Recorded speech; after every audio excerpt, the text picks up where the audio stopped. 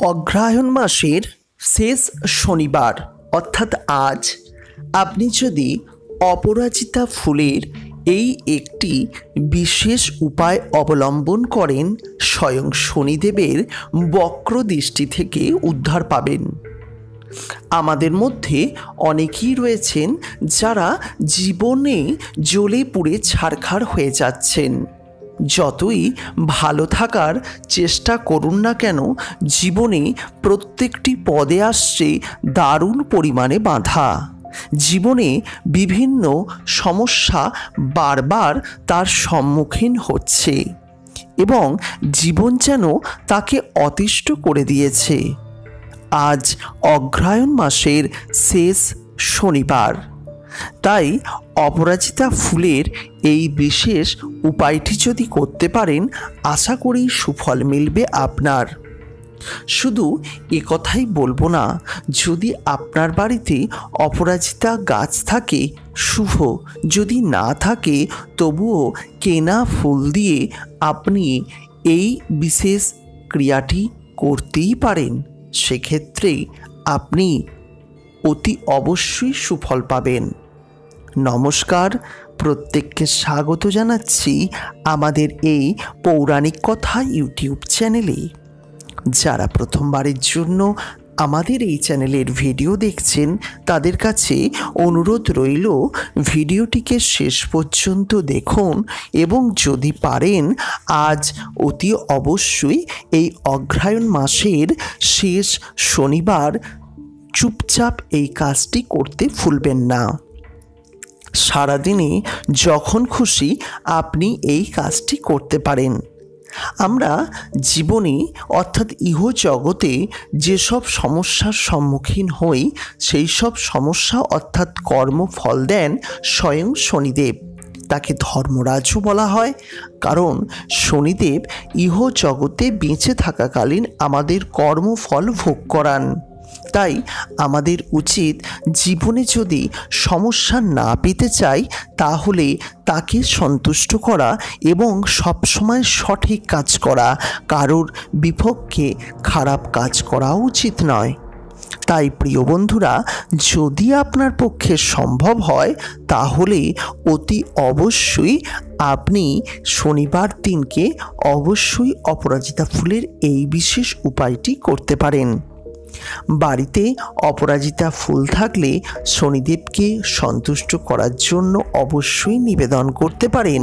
আর যদি বাড়িতে না থাকে, তাহলে আপনি দোকান থেকে ক্রয় করেও ঠিক এই কাজটি করতে পারেন।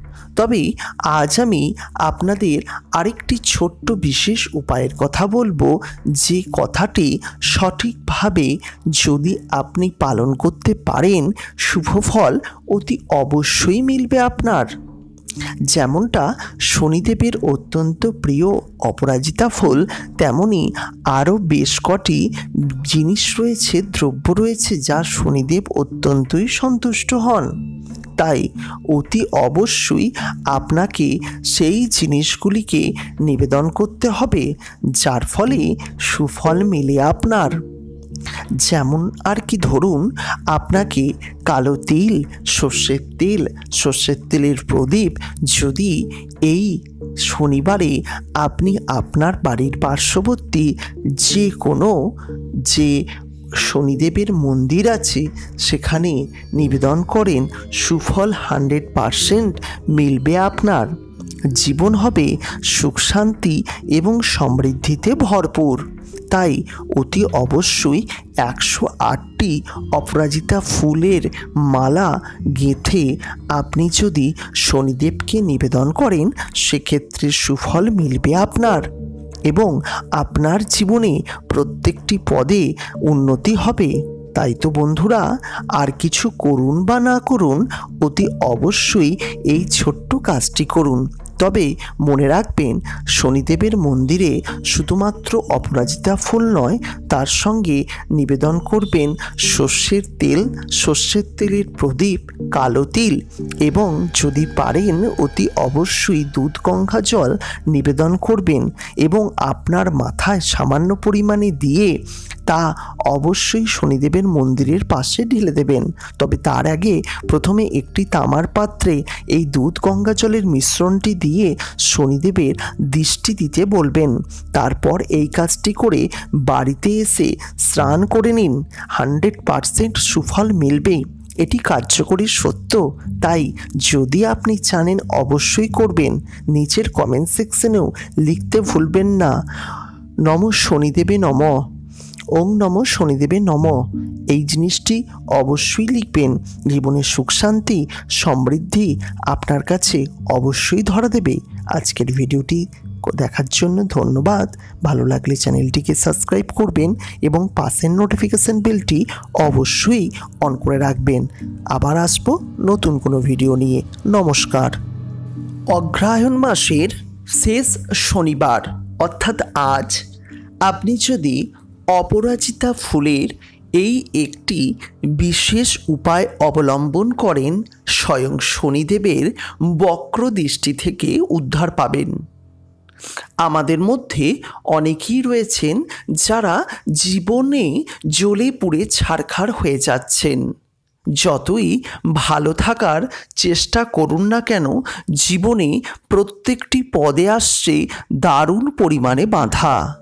জীবনে বিভিন্ন সমস্যা বারবার তার সম্মুখীন হচ্ছে এবং জীবন যেন তাকে অতিষ্ঠ করে দিয়েছে।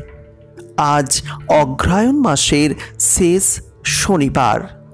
তাই অপরাজিতা ফুলের এই বিশেষ উপায়টি যদি করতে পারেন, আশা করি সুফল মিলবে আপনার। শুধু এ কথাই বলব না, যদি আপনার বাড়িতে অপরাজিতা গাছ থাকে, শুভ। যদি না থাকে, তবুও কেনা ফুল দিয়ে আপনি এই বিশেষ ক্রিয়াটি করতেই পারেন। সেক্ষেত্রে আপনি অতি অবশ্যই সুফল পাবেন। নমস্কার, প্রত্যেককে স্বাগত জানাচ্ছি আমাদের এই পৌরাণিক কথা ইউটিউব চ্যানেলে। যারা প্রথমবারের জন্য আমাদের এই চ্যানেলের ভিডিও দেখছেন, তাদের কাছে অনুরোধ রইল, ভিডিওটিকে শেষ পর্যন্ত দেখুন এবং যদি পারেন, আজ অতি অবশ্যই এই অগ্রহায়ণ মাসের শেষ শনিবার চুপচাপ এই কাজটি করতে ভুলবেন না। সারাদিনে যখন খুশি আপনি এই কাজটি করতে পারেন। আমরা জীবনে, অর্থাৎ ইহ জগতে যেসব সমস্যার সম্মুখীন হই সেই সব সমস্যা, অর্থাৎ কর্মফল দেন স্বয়ং শনিদেব। তাকে ধর্মরাজও বলা হয়। কারণ শনিদেব ইহ জগতে বেঁচে থাকা